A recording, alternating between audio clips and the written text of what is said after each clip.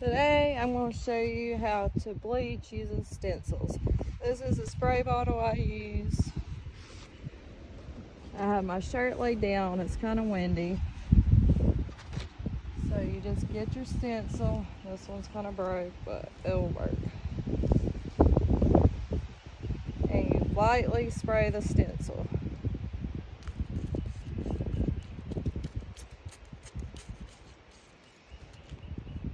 Pick it up. Normally I like to squirt it before I start to make sure it's coming out right.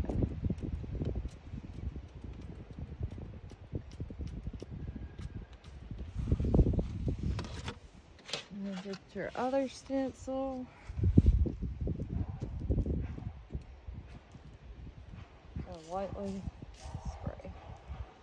Pick it up.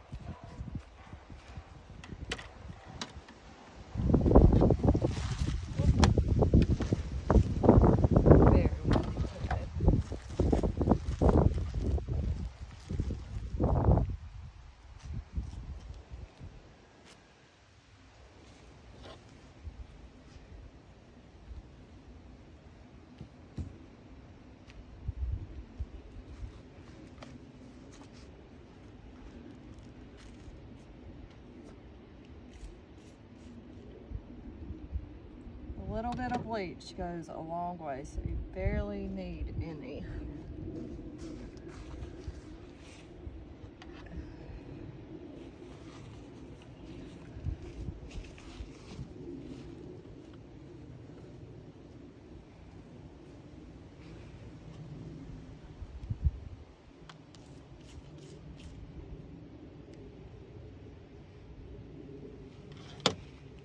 You just give it a few minutes and you'll see it starting to change.